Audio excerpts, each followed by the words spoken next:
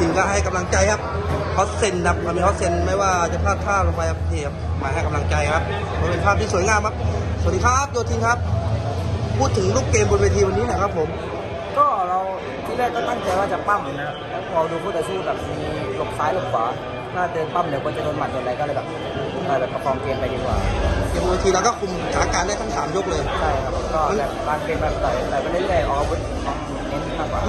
ฟล์ที่แล้วยังไงที่เราเคยชนะเขามา ไฟล์นี้ดูดูเหมือนเขาเขาจะดูดีขึ้นนะ เขาเขาหลังๆเขาต่อยดีขึ้นนะครับ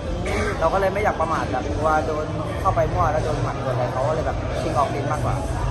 โดยรวมพอใจผลงานตัวเองมากน้อยแค่ไหนครับวันนี้ครับอะไรนะครับ โดยรวมพอใจผลงานตัวเองมากน้อยแค่ไหนครับวันนี้ครับก็พอใจครับแต่ว่าก็อาจจะไม่มันนะเพราะว่าเราวางเกม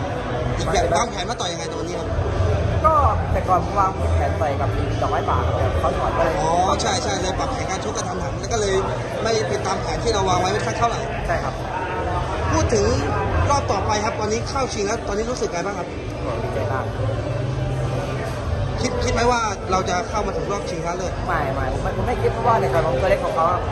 แต่ว่าหลายคนนี่มองว่าเราเป็นติงแชมป์เลยนะวันนี้เรารู้สึกไงบ้างครับก็ดีใจนะก็ดีใจแต่ก็ ก็ไม่แบบก็ไม่อยากแบบให้คนอื่นมองเราติงแชมป์เดี๋ยวเดี๋ยวจะประมาทตัวเองมากกว่าเราก็ทำหน้าที่ไฟต์ต่อไฟต์ให้ดีที่สุดใช่ครับใช่ ไฟต์ต่อไปเจอเพชรรุ่งเรือง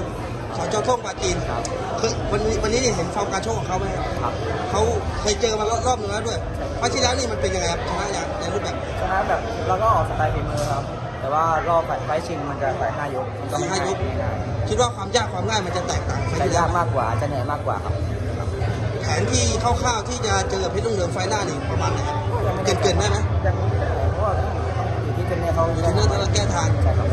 เพชรรุ่งเรืองที่เจอกันไฟต์ล่าสุดนี้เจออาวุธไหนครับที่สร้างความก็หนักใจให้กับเรามากที่สุดลูกๆเลยครับน้องก็ตัวใหญ่กันแล้วก็ลูกแทงลูกเตะเขาจะเน้นแล้วก็เก็บกับเรา พูดถึงเรื่องน้ำหนักอีกทีครับเป็นไงบ้างครับ126ปอนด์ ใหญ่ครับใหญ่ใหญ่ใหญ่แต่ว่าน้ำหนักผมปล่อยแค่60กิโล ก็ 57ปล่อย57 ผมก็ลดแค่2โลครึ่งเองโลครึ่งโยธินนี่ต่ำสุดโยธินทำได้กิโลจะร้อยยี่สิบสี่ได้ร้อยยี่สิบสี่ยังทำได้ร้อยยี่สิบสามยี่สิบสี่น่าจะได้นะผมมองแล้วจนถ้าจบทัวร์นาเมนต์นี่นี่ใครจะเป็นผู้ต่อยโยธินนี่ร้อยยี่สิบสี่ทำได้ใช่ครับได้ยี่สิบสี่ได้แน่นอน แล้วก็วางเป้าวางแผนอนาคตไว้ยังไงบ้างครับตอนนี้อายุ 30 ปีแล้วโยธินก็ยังไม่วางเป้าก็จะต่อยจนไม่ไหวอะครับสุดท้ายแล้วมีอะไรอยากจะพูดกับแฟนมวยทั่วประเทศที่ติดตามเชียร์โยธินวันนี้แล้วก็ไฟต์หน้าครับ ก็ขอบคุณ FC ทางบ้านแล้วก็ทั่วประเทศแล้วก็ทุกมุมโลกเลยประมาณไหนครับก็ขอบคุณทุกกำลังใจที่ให้กับโยธินมาแล้วเพื่อไฟต์หน้าจะทำให้ดีที่สุดครับ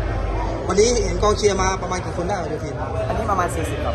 40 คนยังเยอะเหมือนเดิมเยอะไฟต์ชิงนี้น่าจะเยอะกว่านี้ ใช่ใช่ครับ โอเคครับโยธินยินดีด้วยครับสำหรับชัยชนะวันนี้แล้วก็เข้าชิงครับผม ครับผม ประมาณนี้ครับบรรยากาศเกมของทางด้านโยทิน